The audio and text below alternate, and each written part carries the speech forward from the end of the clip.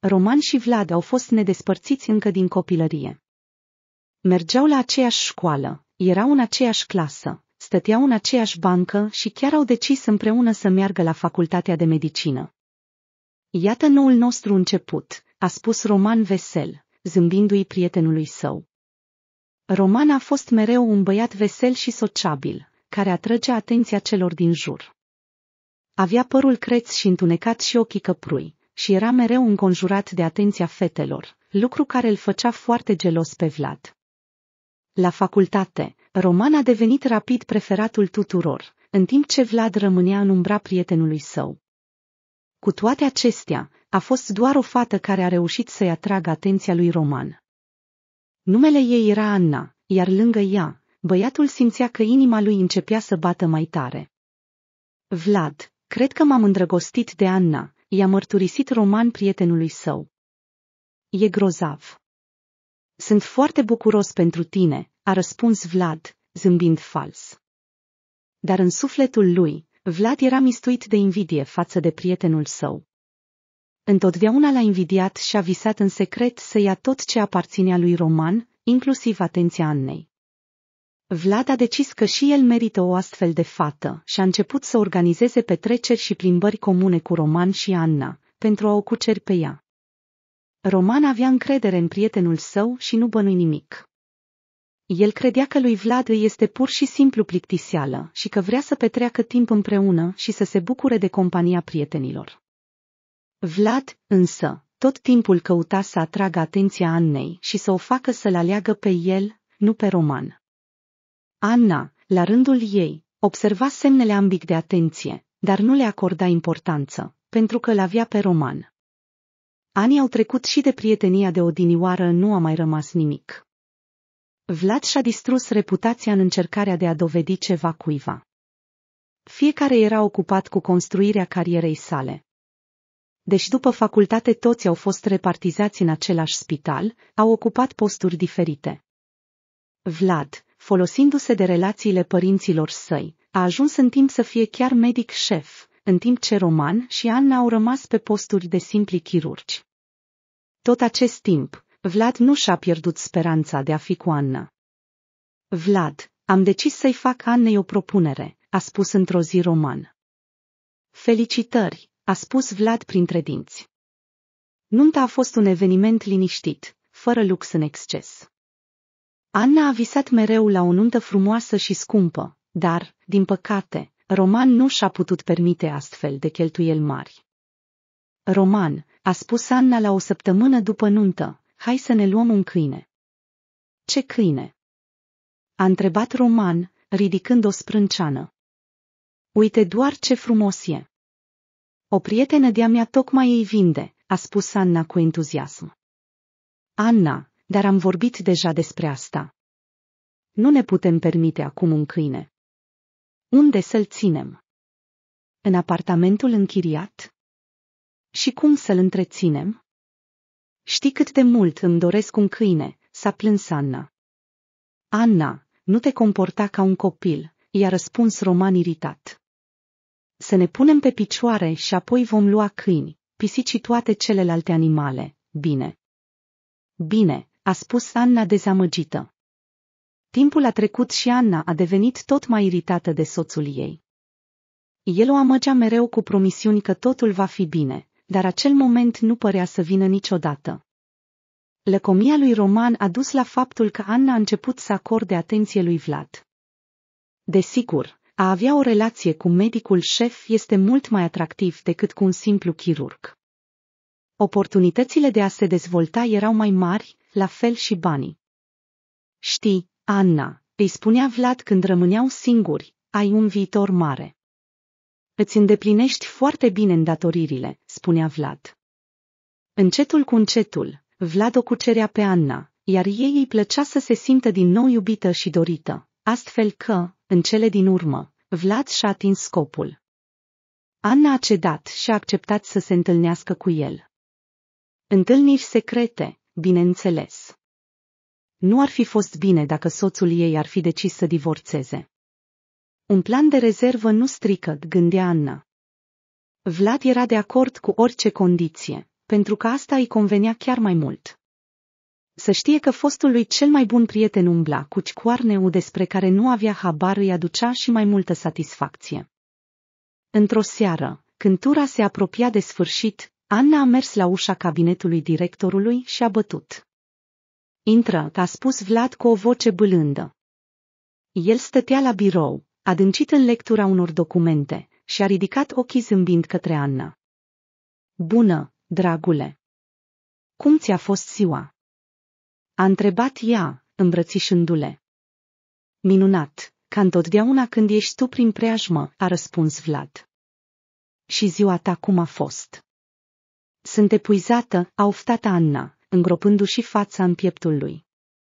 Înțeleg, munca e grea, dar mă bucur că ești aici, a spus Vlad, mângâindu-i părul. Anna a zâmbit și a spus că și-ar dori să petreacă timp împreună. S-au așezat pe canapea și au început să discute planurile pentru seară, când deodată a sunat telefonul. Anna s-a uitat la ecran și a văzut că o suna soțul ei. E roman, a spus Anna, iar Vlad a oftat. Scuze, dragule, trebuie să răspund. Da, bineînțeles, a spus Vlad iritat. Salut, Roman, ce s-a întâmplat? A întrebat Anna, aruncându-i lui Vlad o privire scuzatoare. Anna, unde ești? Te aștept de mai bine de o oră, a spus Roman. Sunt la muncă, întârzi. Vin imediat, a răspuns Anna, încercând să evite suspiciunile. A închis telefonul și s-a întors către Vlad. Scuze, a spus Anna, așezându-se înapoi. Știu că te enervează asta. Nu te îngrijora, totul e în regulă, a zâmbit Vlad, încercând să-și ascundă resentimentul. Sigur? A întrebat Anna. Da, doar că nu-mi place când sună în cel mai nepotrivit moment. Nici mie nu-mi place, dar ce să facem? A încercat Anna să-l consoleze. Măcar crede în poveștile pe care îi le spun. Vlad fusese mulțumit de această situație, dar recent, Roman începuse să-l deranjeze prea mult. Și nu era vorba doar despre relația cu Anna. Din cauza lui Roman, Vlad risca să-și piardă postul. Roman avea rezultate bune și zeci de operații de succes la activ. Din cauza lui Roman, Vlad putea pierde totul. Nu putea permite asta, așa că se gândea cum să-l elimine pe prietenul său de pe drumul său.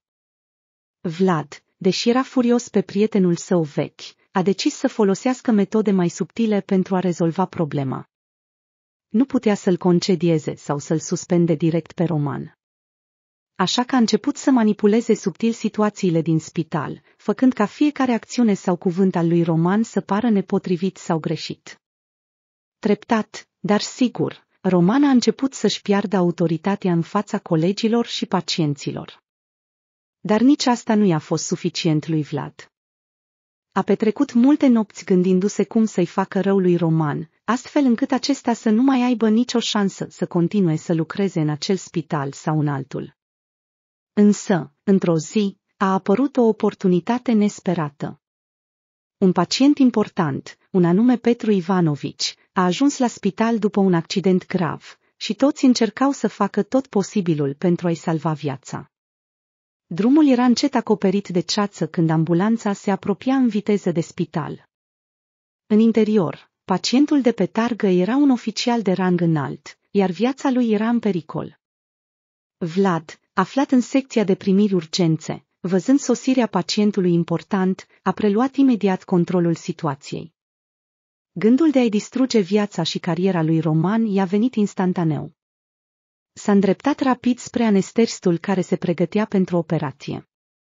Petru Ivanovici era în stare gravă, deci operația era inevitabilă.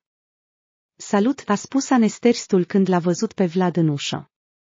Salut, Andrei, a răspuns Vlad, închizând ușa. Am o propunere pentru tine, de nerefuzat. Ce fel de propunere? A întrebat Andrei. Administrează-i cât mai mult anestezic, astfel încât inima să nu reziste, a spus Vlad cu un ton rece și indiferent. Ce? A întrebat anesterstul nedumerit. E important, a spus Vlad ferm. Nu voi face asta. Vlad Nicolaevici, a spus Andrei furios, realizezi măcar ce ceri. Mă așteptam la o asemenea reacție, a spus Vlad impasibil. Se pare că mama ta este bolnavă. Tratamentul costă destul de mult, nu-i așa? Spuse Vlad. Andrei îi se încordară mușchii. Într-adevăr, mama lui era în stare gravă. Banii erau peterminate, iar tratamentul era foarte scump. Trebuia să ia ture suplimentare și să lucreze ca hamal în weekenduri. Când mama lui fusese internată, ceruse colegilor să împrumute o sumă pentru început, așa că toată lumea știa despre situația lui. Atunci toți fuseseră înțelegători și nimeni nu mai pomenise de asta după aceea, așa că aceste cuvinte ale directorului îl surprinseră complet. Ce vreți să spuneți cu asta? Întreb Andrei. Hai să facem așa. Tu faci ceea ce te rog, iar eu sunt pe cineva cunoscut și el va asigura tratamentul mamei tale gratuit. Și îți voi da și bani pentru început.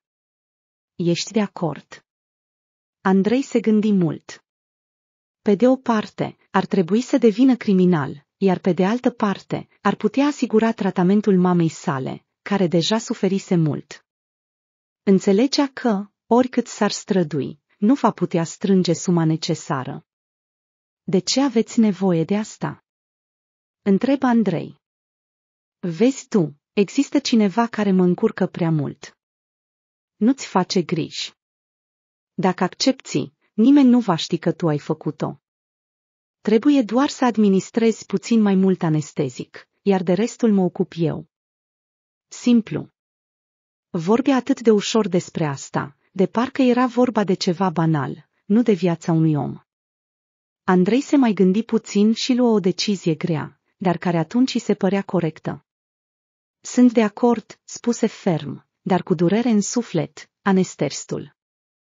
Pe drumul de la birou până la sala de operații, Andrei se gândea la ceea ce trebuia să facă și cum va trăi după aceea. Dar nu avea altă opțiune. Când operația începu, urmărea cu atenție doza de anestezie, încercând să găsească un echilibru între viață și moarte. Aproape se răzgândise și ar fi vrut să-l trimită pe Vlad la dracu, dar, imaginându-și suferința mamei sale, crescuse doza. În mijlocul operației, când Roman se apleca atent asupra pacientului, se auzi un bip continuu și inima pacientului se opri. Roman stătea lângă masa de operație și nu-i venea să creadă ce se întâmplase. Era prima sa operație cu un deznodământ fatal și pe deasupra, cu un om atât de important și respectat. Nu înțelegea ce greșise. Simțea că ceva nu era în regulă. Nu putea să-l aducă pe pacient în această stare singur. Dar imediat după operație, Vlad îl chemă în biroul său. Roman, sper că înțelegi că nu mai poți lucra în spitalul nostru, spuse Vlad rece. Ce? De ce? Întrebă Roman nedumerit. Desigur, a făcut o greșeală, dar de ce concedierea? Era prima și ultima dată, nu se va mai repeta, gândi Roman. Vezi tu, Roman, începu Vlad, acest pacient era foarte important pentru noi. Cred că știi ce funcție ocupă. Nu te supăra, dar nu avem nevoie de probleme în spital. Dar cum îmi voi întreține familia? Cu ce voi plăti chiria?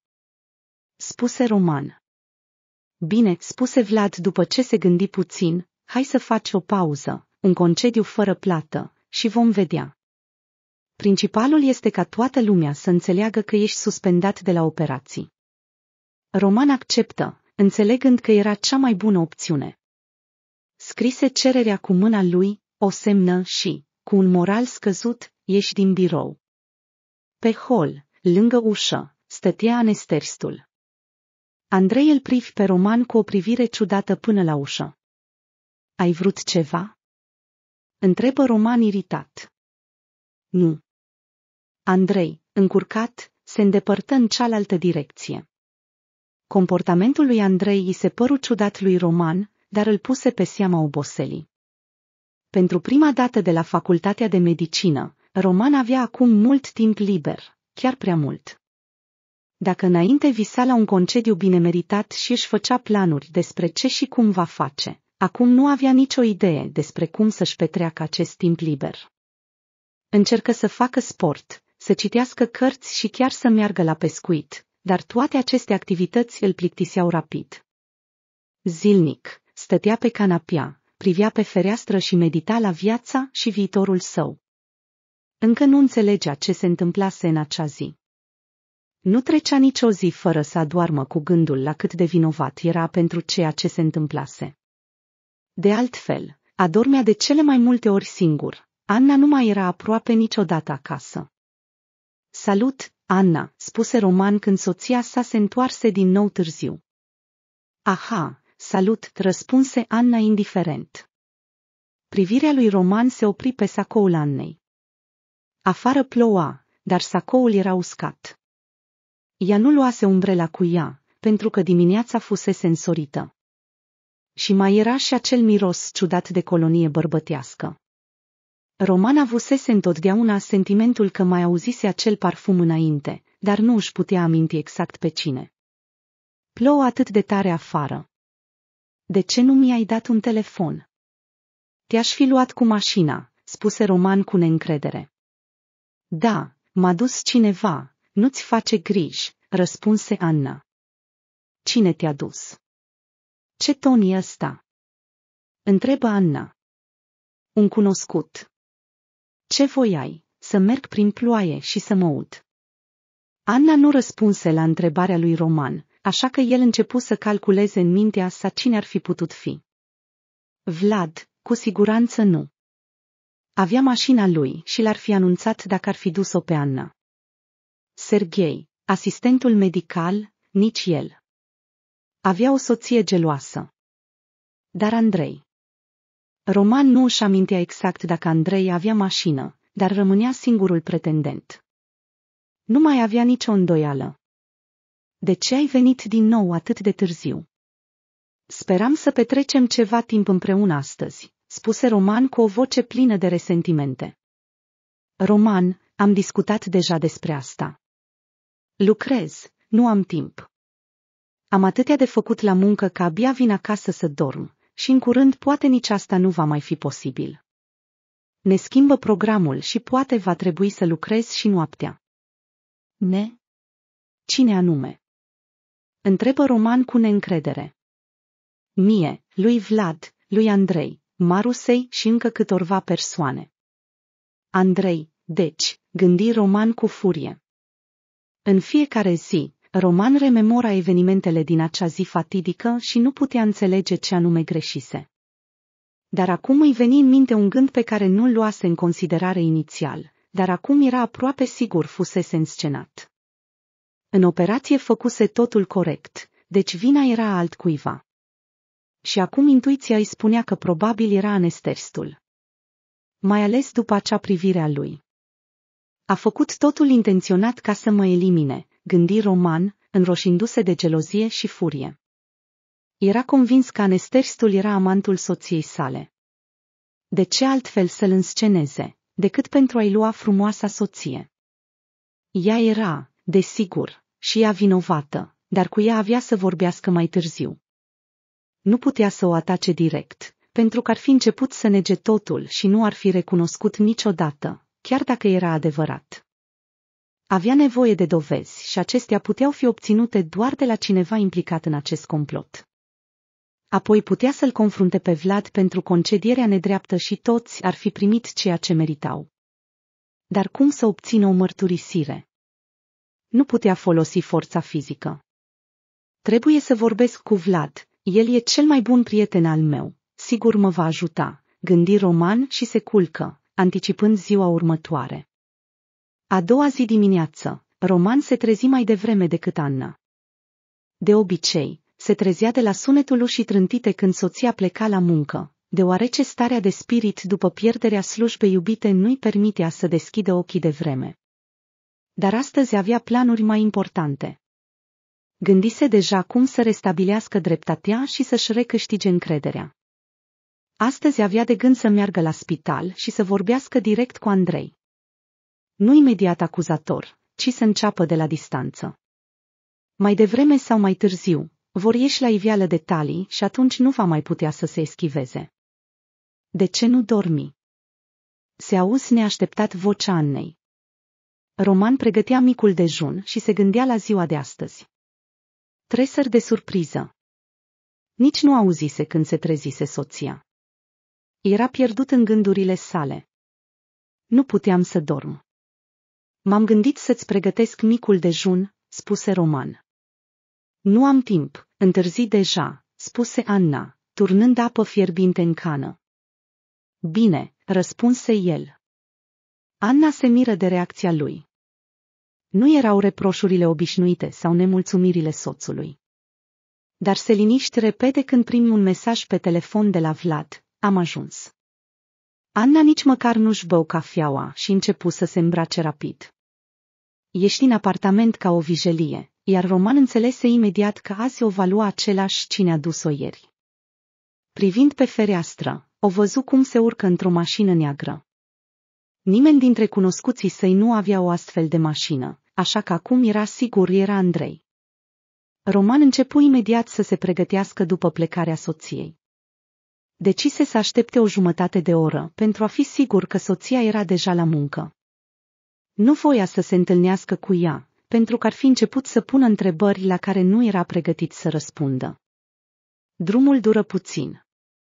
Spre surprinderea sa, Roman realiză că era dor de spital. Era convins că face ce trebuie și în curând va putea să-și reia îndatoririle. Mașina în care urcase Anna în acea dimineață era parcată lângă spital.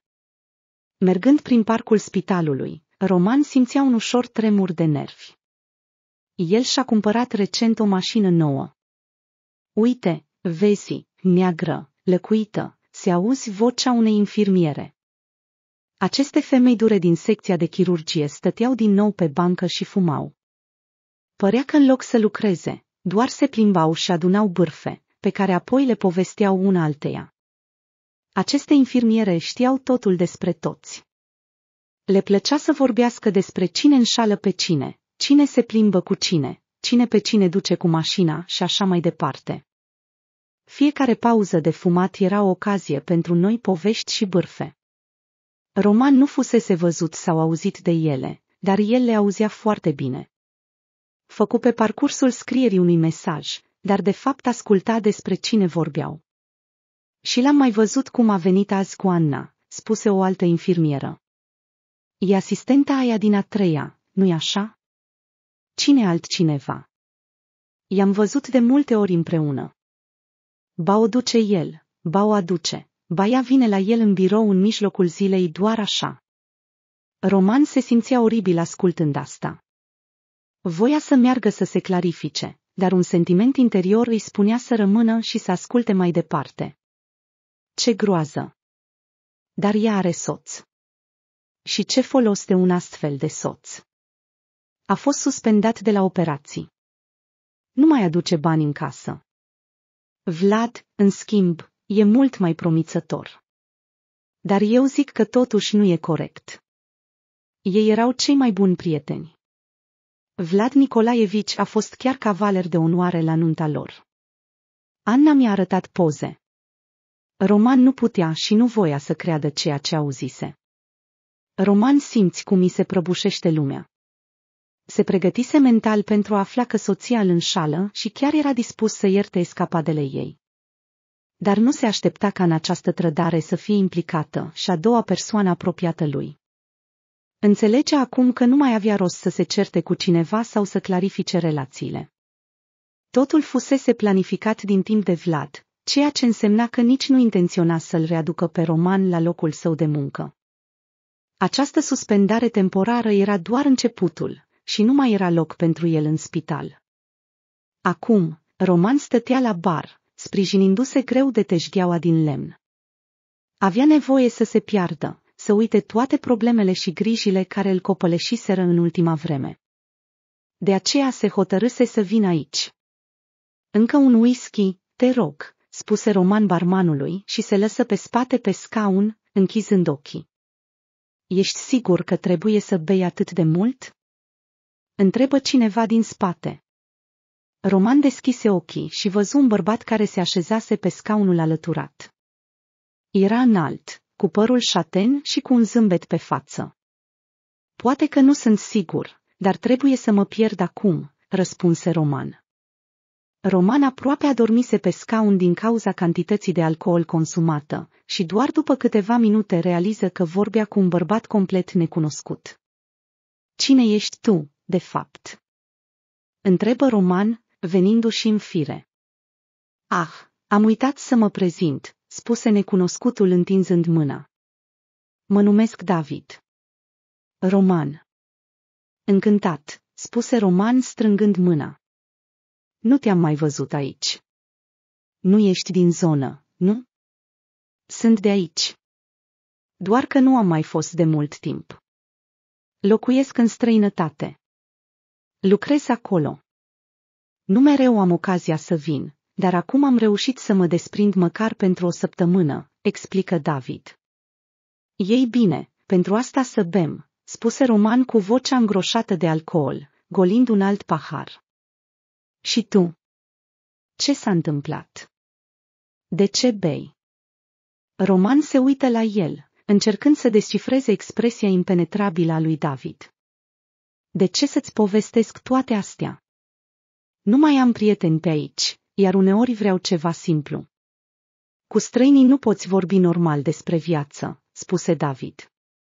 Roman reflectă la asta și zâmbi ușor la propriile gânduri. Am o soție. M-a înșelat cu cel mai bun prieten al meu, înțelegi. Am fost împreună din liceu, am intrat la facultate împreună, iar el.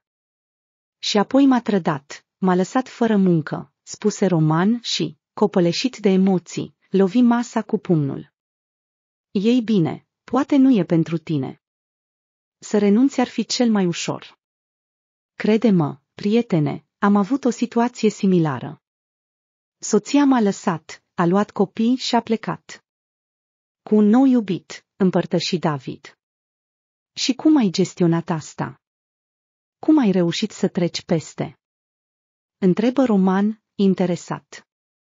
Nu am făcut nimic. Am plecat să lucrez în străinătate. Am stat mult în Italia, apoi m-am mutat în Germania. Acum locuiesc acolo. Nu mai vorbesc cu soția, doar cu copii. Le trimit bani o dată pe lună și toată lumea e fericită. Groaznic. Ai văzut atât de mult din lume, iar eu stau aici și nu pot să iau nicio decizie, spuse Roman cu invidie. David zâmb și îl ascultă pe Roman care începu să-și verse sufletul, vorbind despre visele și temerile sale. Conversau și râdeau ca doi prieteni vechi. Atunci David spuse brusc, ascultă, ce te împiedică să încerci? Nu te mai ține nimic aici. De ce să nu riști și să zbori cu mine? Ce zici? Nu știu, ezită Roman. Sunt sigur că va fi minunat. Ești încă tânăr. E timpul să începi o nouă viață, spuse David. Roman reflectă pentru o clipă, apoi zâmb și dădu din cap. Ai dreptate, de ce nu? Hai să facem asta, spuse el. Mai băură și se distrară o vreme, anticipând călătoria viitoare. David îl învăța pe roman expresii de bază și cuvinte de conversație care i-ar fi fost utile. Roman se întoarse acasă abia dimineața. Anna nu era acasă, dar pentru prima dată după mult timp, a dormit fără probleme, cu o stare de spirit ridicată. A doua zi, Roman decise să nu mai piardă timpul și să meargă imediat să-și scrie demisia. Timpul era scurt, căci în curând trebuia să plece, iar el trebuia să-și pregătească documentele. Mergând cu pas hotărât pe coridorul spitalului spre biroul lui Vlad, știa că nu o va întâlni pe Anna acolo, așa că era liniștit. Decise să nu-i spună nimic pentru a evita certurile inutile.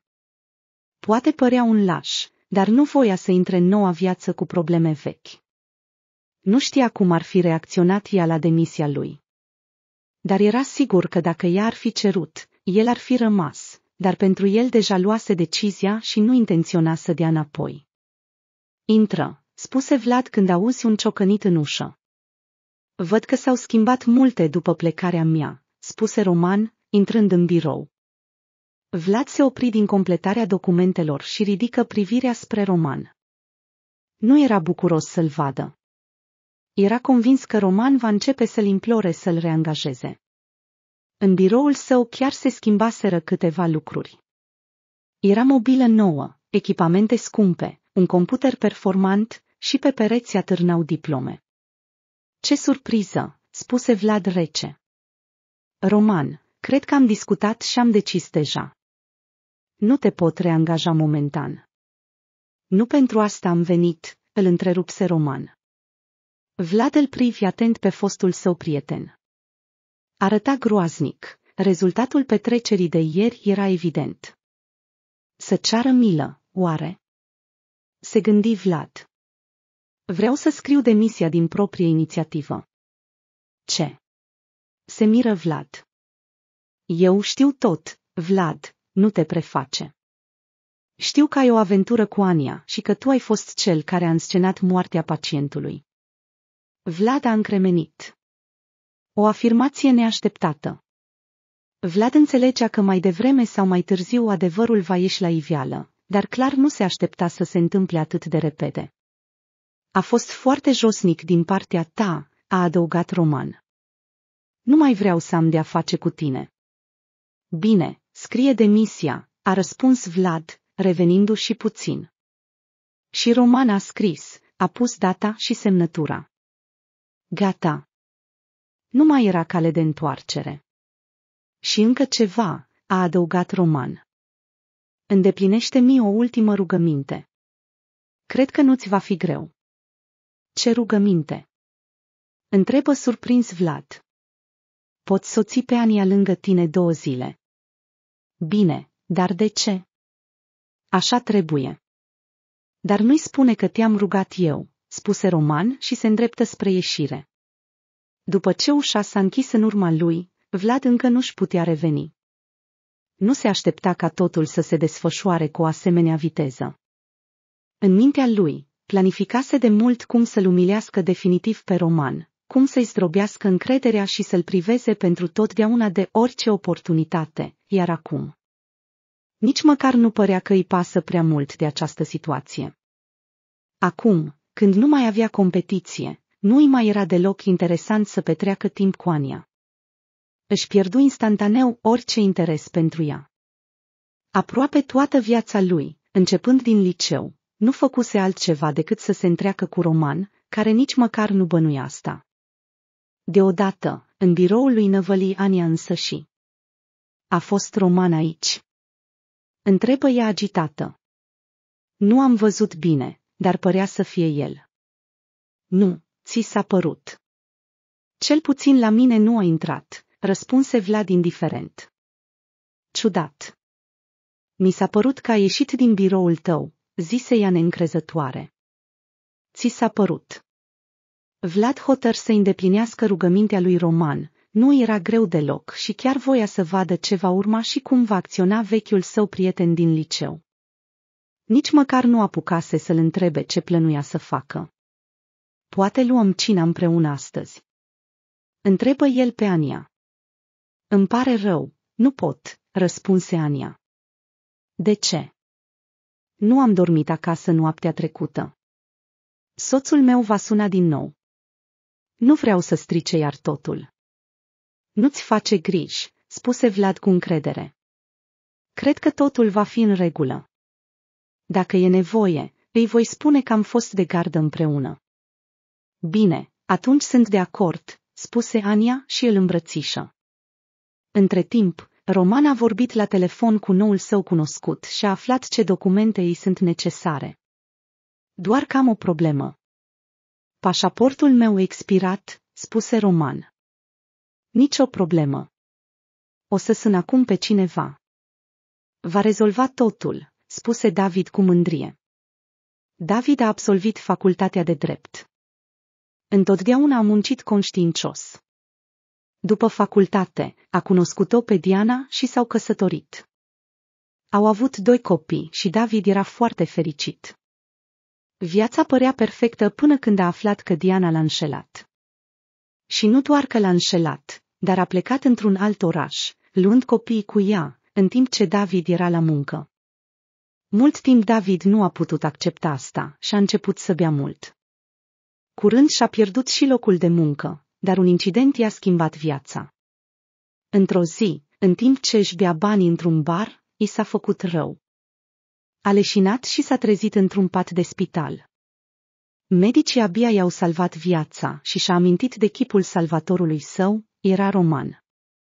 Desigur, doctorul nu și amintea de toți pacienții, avea o memorie slabă pentru fețe.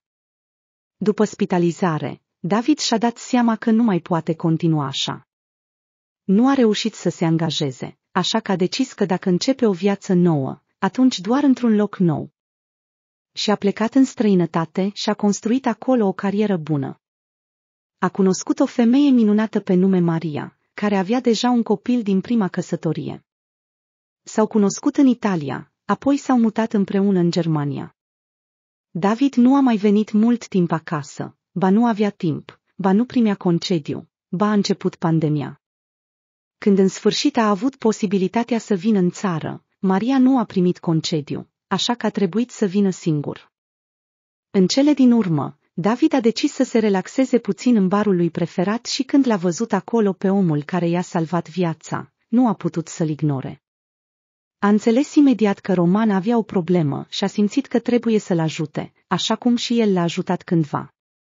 David a decis să nu amintească de întâlnirea lor anterioară. A considerat că nu este cea mai bună situație din viața lui și cu atât mai puțin una cu care să se mândrească. În cele din urmă, totul era pregătit pentru zbor. Roman și-a făcut bagajele și în ultima zi înainte de plecare, David i-a propus să rămână la el pentru a nu întârzia la avion. Pentru Ania a lăsat o notă în care scria că știe totul și nu mai vrea să continue relația, iar în privința divorțului o va contacta mai târziu. Zborul a decurs bine, fără probleme. David l-a ajutat pe Roma să-și găsească de lucru într-o clinică privată. Roman învăța limba surprinzător de repede, iar cunoștințele lui erau suficiente, așa că a reușit rapid să devină apreciat.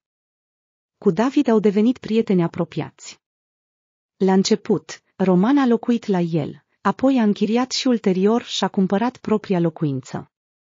Într-o zi, David i-a spus lui Roman că va deveni tată din nou, Maria era din nou însărcinată. Vreau să fi nașul copilului, i-a spus David. Roman, desigur, a acceptat. Timpul trecea, iar Roman începea să se gândească la ceva mai mult decât să lucreze pentru cineva. Resurse și mijloace avea deja destule. A decis că era momentul să-și deschidă propria clinică. Avea deja o bază de clienți, ceea ce era cel mai important resurs după bani. Roman își dedica tot timpul muncii, învăța lucruri noi, își ridica calificările și urca rapid pe scara profesională. Roma, ar trebui să te gândești și la o familie, îi spuse David. Eu sunt deja tată, iar tu nici măcar nu te-ai întâlnit cu cineva. Da, poate ai dreptate, răspunse Roma, dar discuțiile despre viața lui personală se opreau aici. Nu putea să cunoască pe cineva. Chiar și după divorț trecuseră mulți ani, dar nu reușise să-și uite soția. Totul îi amintea de ea, așa că încerca să se afunde în muncă. David vedea cum suferă prietenul său și nașul fiului său, așa că el și Maria au decis să-l ajute. Rom, hai pe la noi mâine. Vrem să te prezentăm cuiva, i-a spus David odată. Cu cine? Întrebă Roman, nedumerit. Maria are o prietenă. Nu e căsătorită, dar își dorește. Am discutat despre tine și ea vrea să te cunoască. Voi vreți să mă măritați? Râse Roman. Nu, răspunse David, dar ai stat singur destul. Nu mai întinerești. Cine îți va aduce un pahar cu apă la bătrânețe? Roma înțelegea că era un sâmbure de adevăr în cuvintele prietenului său nu se mai simțea la fel de sănătos ca înainte și se gândea tot mai mult la lucruri mai importante. Bunăstarea materială era bună, dar ce rost avea dacă nu avea cui să o lase? Bine, voi veni, spuse Roman. Cina într-un cerc de prieteni a decurs minunat. Prietena Mariei, Sofia, era o femeie frumoasă și rafinată, foarte elegantă și totuși impresionantă. Era cu câțiva ani mai mare decât Roman, dar nu se putea spune asta uitându-te la ea. Ei nu mai erau tineri, nu aveau de ce să tragă de timp, așa că după o săptămână au decis să se mute împreună. Roman se simțea bine cu ea, dar nu mai mult de atât. O privea și o compara cu Ania. Sofia nu gătea la fel de bine, nu își aranja lucrurile corect, se îmbrăca ciudat. Adevărul era că nu era o gospodină bună. Dar dacă Aniei îi putea ierta orice, aici nu era dispus să tolereze defectele. După o lună s-au despărțit. După aceea, Roman nici măcar nu a mai încercat să înceapă o relație cu cineva. Spunea că nu era încă pregătit după divorț. Și așa au trecut anii săi solitari. Profesorul de 50 de ani s-a trezit de la razele soarelui care pătrundeau prin jaluzele. A ieșit pe balcon și s-a deschis un peisaj superb. Linia unde cerul se întâlnea cu marea era aproape invizibilă. A inspirat aerul proaspăt și s-a dus în bucătărie, și-a băut cafeaua preferată cu suc de portocale și a început să se pregătească pentru muncă. În ultima vreme, pacienții în stare gravă nu mai ajungeau la clinica sa, așa că își putea permite să se odihnească mai mult. Nimeni nu îl grăbea și nu îl trezea. De obicei, în casă se afla doar Larisa, compatrioata sa, care lucra ca menajeră. Astăzi era ziua de naștere a nepotului ei, așa că profesorul i-a dat liber. El nu avea nici măcar copii, dar rămite nepoți, dar încerca să nu se descurajeze. Avea un fin drag, care urma să termine curând liceul. Roman și părinții săi au fost foarte bucuroși când a spus că vrea să urmeze calea unchiului său și să studieze medicina. Îl obișnuise să-l numească Tiunchi, pentru că așa auzise de la tatăl său, care spunea că acest om îi devenise la fel de apropiat ca un frate. Roman Sergivici s-a urcat în mașină și a plecat. Drumul era lung, dar profesorul nu îl pierdea, asculta audiocărți despre medicină, noi dezvoltări și medicamente. Apropiindu-se de clinică, a observat o agitație. Ce se întâmplă aici? Întrebă Roman Sergivici, intrând. Bună dimineața, Roman Sergivici, răspunse una dintre infirmiere. A sosit o pacientă în stare foarte gravă. Se spune că e compatrioata dumneavoastră. Ah, a venit din Rusia? Da, au spus că acolo nu au putut să o ajute, așa că a venit aici. A fost dusă imediat la operație, răspunse femeia. Înțeles, răspunse scurt Roman Sergivici. Profesorul simți o neliniște interioară. Dar din Rusia, și ce dacă, nu erau puțini cei care veneau? Încerca să se liniștească. În memoria sa nu erau mulți pacienți din Rusia, doar cei în stări extrem de grave. Dar când a auzit de această pacientă, a simțit ceva în interior. A pus totul pe seama sensibilității sale crescute odată cu înaintarea în vârstă. Întreaga zi nu a putut să se concentreze pe muncă. Spre seară, a decis să afle în ce stare se afla pacienta recent sosită. Riana, se adresă Roman Sergivici asistentei care se îndrepta spre secția de terapie intensivă unde era pacienta. Am auzit că a sosit o compatrioată de-a mea. Cum e? Oh, Roman Sergivici, situația e foarte gravă, răspunse asistenta. Au apărut probleme în timpul operației? Întrebă bărbatul. Nu, operația a decurs bine, dar boala ei e incurabilă. Săraca mai are doar câțiva ani, dacă nu luni. Depinde de cum va evolua boala, răspunse asistenta cu milă. Romana a stat puțin pe gânduri, se apropia timpul vizitei. În clinică încerca să mențină o atmosferă prietenoasă pentru a evita stresul pacienților. Dar când a venit timpul să intre în salonul pacientei, Roman, chiar și pentru el însuși, a rămas înțepenit la ușă. Sentimentul de neliniște nu-l lăsa să deschidă ușa, ca și cum ceva de dincolo de ea ar putea amenința viața lui. Dar în prezența altora nu putea să-și arate frica nejustificată și cu o mișcare bruscă a deschis ușa. Și inima i s-a oprit pentru un moment. S-a transformat din nou în acel tânăr, sincer, îndrăgostit și naiv. A văzut-o din nou. Pe patul de spital era Ania, prima și unica sa iubire, și soția lui. Boala o devora vizibil din interior. Slăbise, fața era palidă. Dar pentru Roman, ea rămânea la fel de tânără și frumoasă. Ea l-a recunoscut și ea, dar nu a arătat nimic. Anna nu știa că Roman lucra tocmai la această clinică, cu atât mai puțin că era clinica lui, așa că pentru ea a fost o surpriză la fel de mare ca și pentru el. Roman a ieșit din salon la fel de repede cum a intrat. Nu putea să arate nimic. Profesionalismul era pentru el mai presus de propriile sentimente, dar nu a continuat mult timp vizitele. După câteva ore, Roman Sergivici stătea la biroul său și privirea îi rătăcea peste paginile rapoartelor, dar gândurile lui erau complet în altă parte. A decis să nu se întoarcă acasă în acea seară.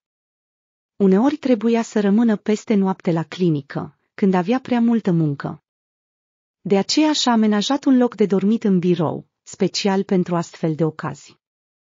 Încerca să adoarmă, dar gândurile nu-l lăsau. Toată noaptea și-a amintit cum a început totul cu Anna și s-a gândit la cum ar fi fost dacă nu ar fi plecat, dacă ar fi iertat-o și ar fi propus să înceapă relația lor de la zero.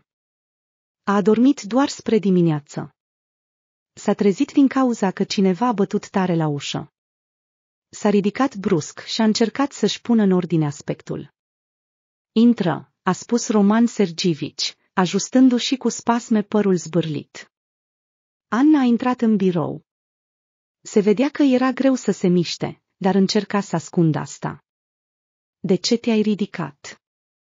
Nu ai voie, a spus Roman și a alergat la ea ca să o ajute. E în regulă, totul e bine, a spus Anna. Credeam că nu m-ai recunoscut, a spus ea și a zâmbit. Desigur că te-am recunoscut, a răspuns bâlând Roman și a ajutat-o să se așeze pe canapea. Ești de admirat, Rom, uite ce ai devenit, a spus Anna. Ce anume? De succes, impunător, nu ca mine. Ultima frază a rostit-o aproape în șoaptă, dar Roman totuși a reușit să înțeleagă cuvintele. Și viața ta, cum a fost? A întrebat Roman, încercând să pară indiferent, dar de fapt această întrebare îl interesa cel mai mult. Anna i-a cerut să pună ceainicul, deoarece discuția urma să fie lungă. În acea seară, când Roman a lăsat un bilet soției sale și a plecat, ea nu bănuia cât de mult se va schimba viața ei. Vlad încerca să o țină ocupată pe Anna, pentru ca ea să se întoarcă acasă cât mai târziu. La început au cinat la un restaurant, apoi a dus-o prin magazine, iar mai târziu i-a propus să meargă la el. Vlad, nu sunt sigură că e o idee bună. Cum îi voi explica lui Roman de ce nu am fost acasă deja a treia noapte? Se neliniște Anna. Vlad s-a uitat la ceas și a înțeles că, cel mai probabil, soțul ei nu mai era acasă. Înțelegea că ea nu bănuiește nimic și crede că Roman o așteaptă liniștit și supus acasă, în timp ce ea se distrează cu amantul. Dar nu era chiar așa.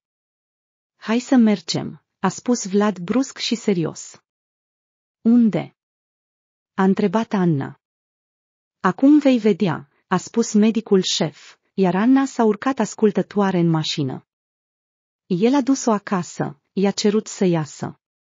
Anna nu înțelegea nimic, iar Vlad nu răspundea la milioanele ei de întrebări. Au urcat împreună în apartament. Ce ai de gând să faci? Anna a început să fie nervoasă. Dar dacă a decis să mărturisească tot, s-a gândit Anna, fără măcar să se consulte cu ea. Vlad i-a cerut să deschidă ușa, iar ea s-a supus. Au intrat în apartament și Anna a stat o vreme pe hol, neînțelegând ce s-a întâmplat acolo. Lucrurile soțului nu erau acolo, nici hainele, nici încălțămintea, nici măcar hainele de iarnă nu erau. Apoi a văzut biletul soțului. În el, el a scris că știe totul și că nu mai vrea să continue această relație. Vlad a rămas în tot acest timp tăcut pe hol. Știai totul. L-a întrebat Anna și lacrimile au început să-i curgă, fie de tristețe, fie de furie. Da. A venit la mine acum două zile și mi-a spus că știe totul, a răspuns Vlad indiferent. Și nu mi-ai spus nimic. S-a indignat Anna. Și asta ar fi schimbat ceva? Nu te înțeleg. Tu singur ai spus cât de mult te-ai săturat de el și cât de mult vrei să scapi de el. Anna a reflectat. Cu o săptămână în urmă, ea chiar visa să trăiască pentru propria plăcere departe de soțul ratat. Dar acum, când visele ei s-au împlinit, ea s-a simțit ciudat. Înăuntru ei se desfășura o furtună de emoții. După un minut de tăcere, ea l-a întrebat pe Vlad, ei bine, și acum? Ce facem acum? Continuăm să trăim la fel cum am trăit. Anna a dat din cap, înțelegând că nu mai poate schimba nimic. Roman a scris că intenționează să înceapă totul de la zero, dar nu a înțeles ce a vrut să spună. Nu i-a rămas decât să accepte asta și să uite, ca pe un vis îndepărtat. La început, Anna era complet mulțumită de relația ei cu Vlad. A început, așa zisul, perioadă de bomboane și flori, restaurante, cadouri, excursii. Era ca un nou început și Anna chiar a început să uite de frământările ei. Încerca să-l sune pe Roman pentru a discuta despre divorț, dar numărul lui era indisponibil. Probabil și-a schimbat numărul, se gândea Anna. Vlad, am vrut să te întreb ceva, a spus într-o zi Anna. Și nu te deranjează deloc că sunt încă o femeie măritată? Deloc. Nu ne grăbim nicăieri, i-a răspuns Vlad.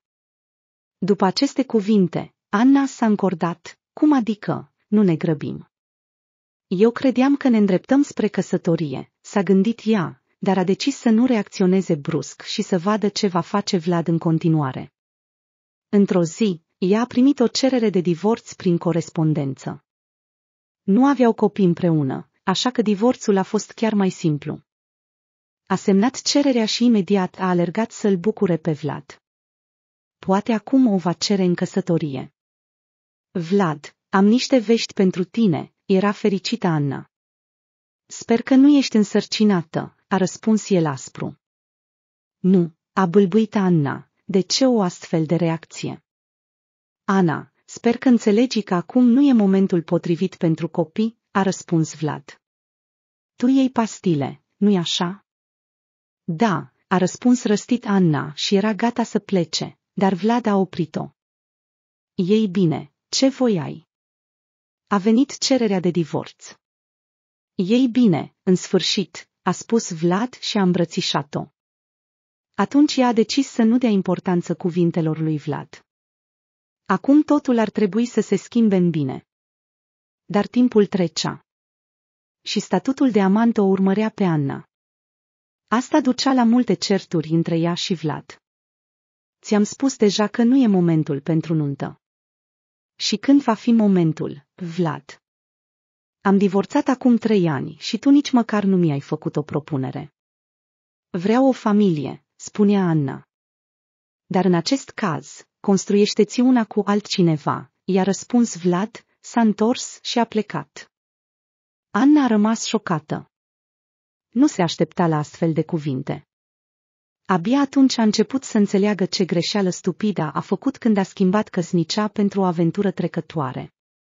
Dar nu mai era cale de întoarcere. Numărul de telefon al fostului ei nu era disponibil și nimeni nu știa nimic despre viața lui. Acolo s-au sfârșit relațiile dintre Vlad și Anna. Ea a înțeles că nu mai are sens să aștepte ca el să fie pregătit să se căsătorească cu ea, pentru că, cel mai probabil, acest moment nu va veni niciodată. Timp de acești patru ani, el nu i-a propus să locuiască împreună, doar uneori o ajuta cu chirie. Problemele cu apartamentul au început de acolo. Proprietara a avertizat că de la luna viitoare chiriul va crește. Anna se descurca cu greu și fără asta. Bine, măcar sora i-a oferit să locuiască cu ea. Era mai mică decât Anna, dar deja avea copii. Ea și soțul ei s-au despărțit când ea era însărcinată a doua oară. Au decis că nu sunt potriviți unul pentru celălalt, dar au decis să rămână în relații calde și prietenoase. Daș, unde să merg acum? A spus Anna surorii sale mai mici. Ei bine, te-ai descărcat într-o clipă. Dar vino să locuiești cu mine. Oricum stau singură. Și așa mă vei ajuta cu copiii, i-a propus Dasha. Anna a fost fericită pentru o astfel de ofertă. Acum avea timp să-și rezolve problemele și măcar să nu-și facă griji pentru locuință. Dar s-a întâmplat ca în tot timpul liber să-și petreacă acum cu nepoții, pentru că sora ei a decis că acum e momentul potrivit să-și construiască viața personală. Anna, în general, nu era împotrivă, dar era greu să te ocupi singur de muncă, doi copii și încă o soră care se așeza bine pe umerii ei. Anii au trecut. Copiii au crescut, Dașa a găsit un bărbat și s-a mutat cu el, iar Anna a rămas să locuiască în apartamentul surorii. Nu a putut să-și construiască o nouă relație cu nimeni, a lucrat non-stop, a ajutat-o pe mama ei și a încercat să se mențină calmă ca să nu se prăbușească din cauza singurătății. Nu voia să cunoască pe nimeni. Și în ultimii ani îi plăcea să iasă seara la o plimbare și să-și amintească de băiatul pe care l-a iubit în anii de facultate și pe care încă nu îl iubise. Din păcate, a realizat că era prea târziu. Și foarte recent, mama ei a murit. Înainte de a muri, ea spunea adesea cât de rău îi pare că nu va vedea nepoții de la fica ei mai mare. Cum îi plăcea să vadă că ambele fiice ale ei sunt fericite, căsătorite. Mama Annei nu știa din ce cauză s-au despărțit ea și Roman, dar nu era fericită cu această știre. La întâlnire, Roma i s-a părut decent, bun și foarte promițător. Nu ca acest dașchin, spunea mama. Pentru Anna a fost greu să treacă peste moartea celei mai dragi persoane. Din nervi, a renunțat la tot ceea ce făcea, iar mai târziu și-a neglijat și propria sănătate. Trebuia să meargă la doctor încă de la primele stadii ale bolii, dar ea, chiar dacă era doctor însă și, nu asculta ce-i spuneau colegii. Și când în cele din urmă a realizat că boala nu va trece de la sine și trebuie să se trateze urgent, medicii deja își ridicau neputincioși mâinile. Aici nu se tratează așa ceva. Trebuie să mergi peste hotare, spuneau specialiștii. În Germania, de exemplu, te vor ajuta. Anna nu avea nicio dorință să meargă undeva, dar sub presiunea surorii și a soțului ei, a cedat, și-a luat toate economiile și a plecat să-și cumpere bilet. Ei bine, în esență, iată unde am ajuns, și-a încheiat povestea Anna. Roman a stat tăcut, n-a întrerupt-o. Doar când ea a terminat, și el a decis să-și povestească, cum i s-a schimbat viața după divorț. Despre Sofia a tăcut, nu era momentul, și nici nu era nimic serios acolo. A povestit despre dificultățile întâlnite la mutare, cine l-a ajutat, cine l-a susținut. A promis să-l prezinte pe David și familia lui, care, cu siguranță, auziseră despre Anna și voiau să o cunoască. Au stat destul de mult timp, au băut ceai, au vorbit despre tot felul de lucruri, de parcă nu ar fi fost ani lungi. Au vorbit despre cum s-au dezvoltat viețile foștilor lor cunoscuți și au reamintit cum a început totul pentru ei. Vlad, de altfel, a început să aibă probleme acum câțiva ani. Se pare că a început din nou să-și desfășoare afacerile murdare, să încerce să scape de cineva folosind metodele lui, dar de data asta a fost prins. A fost imediat reținut, dar a reușit să scape. Cu toate acestea, a fost dat afară din funcția de director medical. Acum lucrează într-un mic centru medical la marginea orașului și se ascunde. Se teme să iasă pe stradă de teama să nu fie bătut, a povestit Anna. Ei bine, dacă e așa, a răspuns Roman, se pare că dreptatea totuși a triumfat și fiecare a primit ce merita. Asta e sigur, a spus Anna. Roman, mai vroiam să-ți spun. Adevărul e că nu știam că Vlad te-a pus într-o situație dificilă în timpul acelei operații. El mi-a povestit despre asta mai târziu. După aceea ne-am certat grav, sincer, nu eram la curent. Roman a fost fericit că măcar Anna nu l-a trădat. Voia să-i creadă și simțea că ea chiar spune adevărul. A decis să schimbe subiectul și a început să-și amintească cum au început totul între ei, cum au ieșit în prima lor întâlnire, cum i-a făcut el propunerea, cum au gătit împreună noi feluri de mâncare pentru cină. M-am îndrăgostit de tine imediat ce te-am văzut, a spus Anna. Da. Și de aceea m-a ignorat timp de două luni, a râs el. Exact. Erau atât de multe fete după tine. M-am gândit că te vei juca și apoi mă vei abandona. Dar s-a întâmplat exact invers, a spus Roman în șoaptă. Roman, iartă-mă. Am făcut atât de multe prostii. În tot acest timp te iubeam și încercam doar să mă conving că nu e așa. Roman a stat o clipă, se uita la Anna și încerca să înțeleagă dacă vorbea sincer sau nu. Voia să-i mărturisească că o căuta pe ea în altele, în caracter, în comportament, în aspect, orice. Dar când și-a întors privirea spre ceas, a realizat că au stat deja prea mult și era timpul pentru Anna să meargă la proceduri. Era încă prea slabă, iar nervozitatea era cu atât mai periculoasă pentru ea. În primul rând, el este medic și trebuie să se gândească la pacienți. Așa că l-a trimis pe Anna înapoi în salon, dar i-a promis că vor discuta despre asta cu siguranță când va fi complet sănătoasă. Anna a fost de acord. Cu fiecare zi care trecea, Anna se simțea din ce în ce mai bine. Prognozele erau bune. Boala nu progresa atât de rapid pe cât ar fi putut. Fie dorința ei de a trăi, fie prezența lui Roman lângă ea inspira încredere, dar acum își dorea să se vindece cât mai curând posibil și a început să urmeze toate recomandările medicilor. După o lună, Anna a fost externată. Roman i-a propus să iasă la plimbare și, în cele din urmă, să discute. Tot timpul petrecut împreună aici, părea că acoperă aceanii în care au fost despărțiți. Anna, hai să începem totul de la capăt, a spus Roman. Hai, a fost de acord ea. Cu toate că au decis să-și reia relația, Roman nu a vrut să grăbească lucrurile cu o cerere în căsătorie, dar în fiecare zi își dădea seama că dacă nu va fi cu Anna pentru tot restul vieții, atunci nu va fi cu nimeni. A trebuit să se consulte, așa că i-a propus lui David și Mariei să o cunoască în sfârșit pe Anna. Inițial, au planificat să se întâlnească la o cafenea, dar deoarece Anna nu vorbea limba, David a sugerat ca perechea să vină la ei acasă și să stea într-o atmosferă confortabilă. În timpul anilor petrecuți împreună, a reușit să învețe limba rusă conversațională Mariei, astfel că nu ar fi fost probleme deloc. David, Maria, vă prezint pe Anna, a spus Roman când au intrat în casă. Încântată să vă cunosc. Sunt Maria, a spus femeia și a zâmbit. Roman mi-a povestit multe despre voi. Da. S-a mirat Anna și a râs. Sper că numai lucruri bune. Ei bine, desigur, a spus Maria.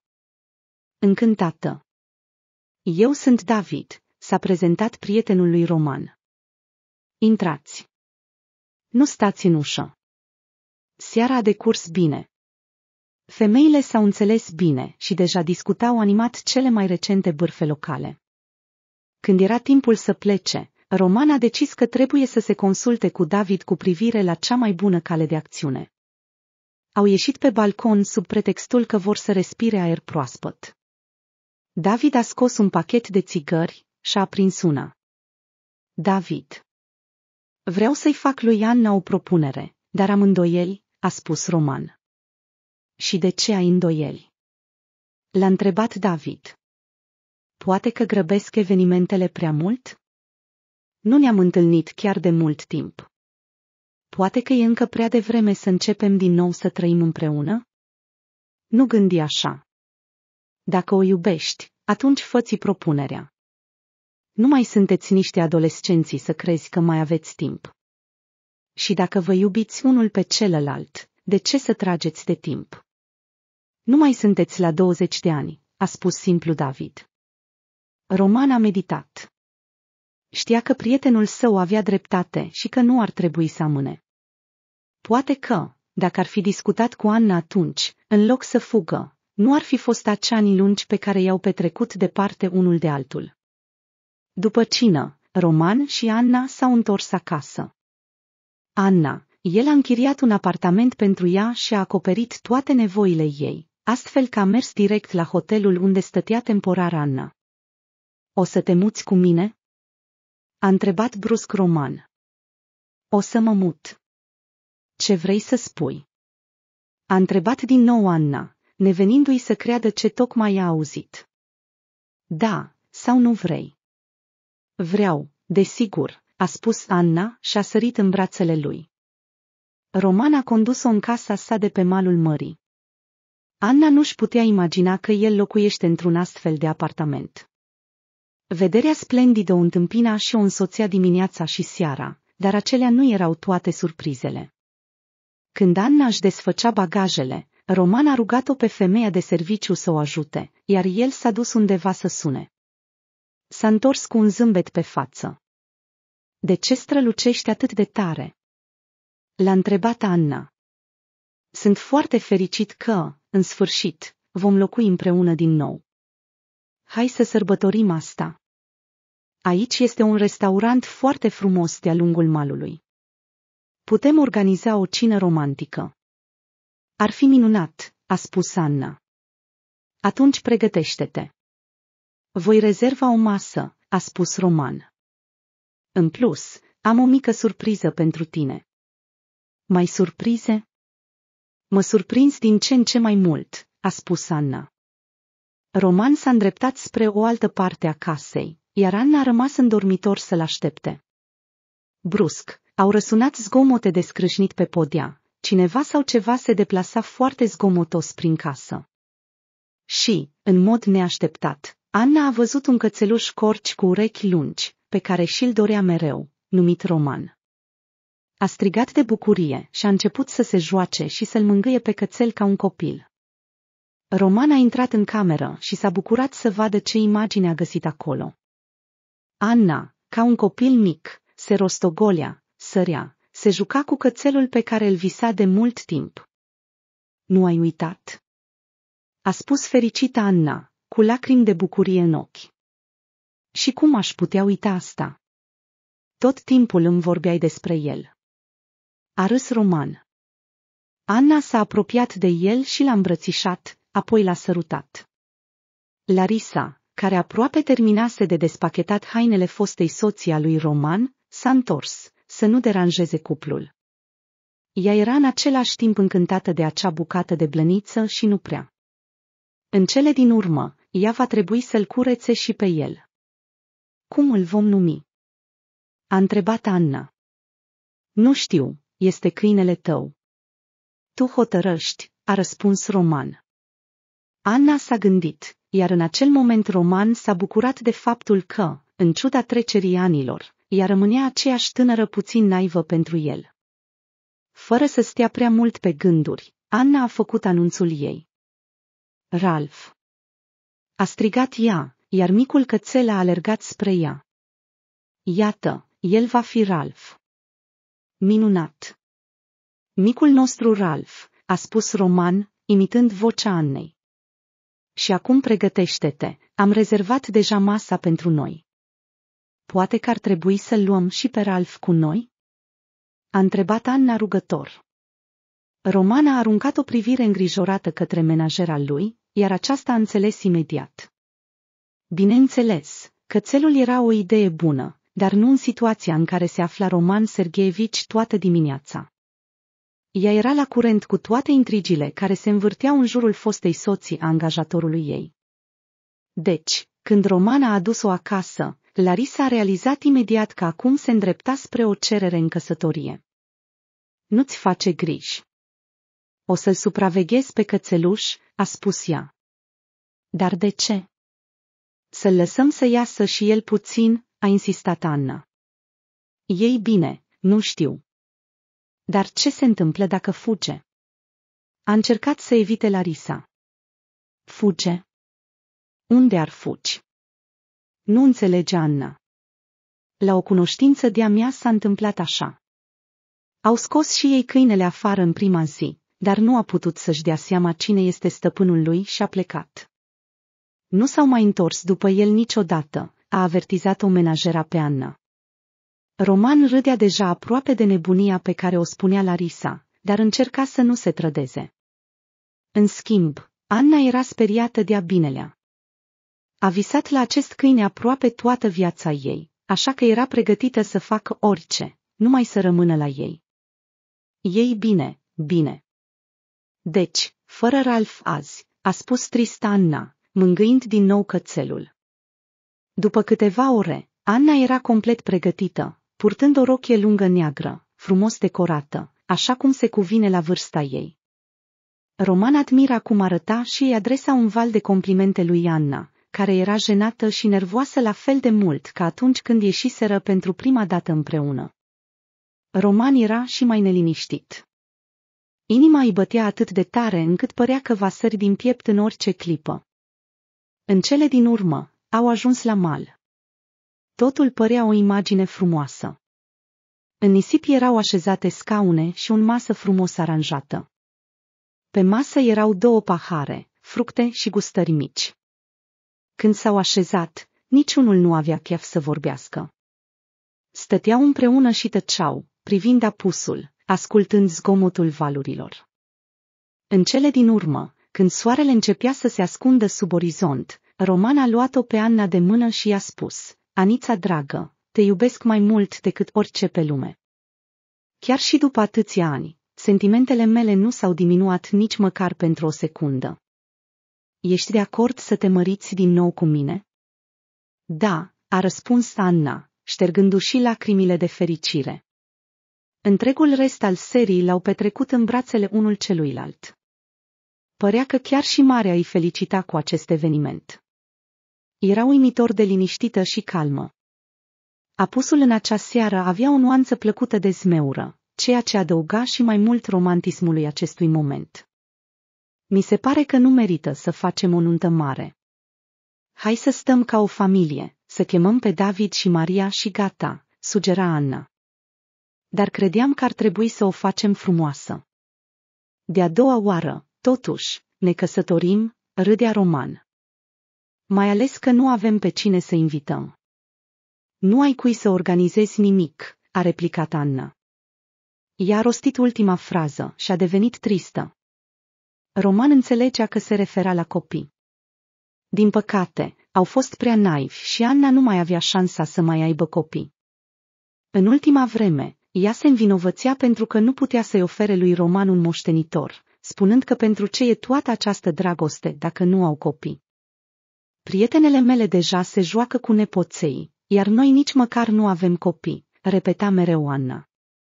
Roman nu era deloc mulțumit de situație. Trebuia să facă ceva în legătură cu asta? Și într-o zi a ieșit mai devreme de la serviciu. Anna stătea în sufragerie cu Larisa și se jucau cu cățelul. E bine totuși că te-ai împăcat cu Roman Sergeevici, spunea Larisa. Îmi ești mult mai dragă decât el. Mai dragă decât cine? Întrebă mirata Anna.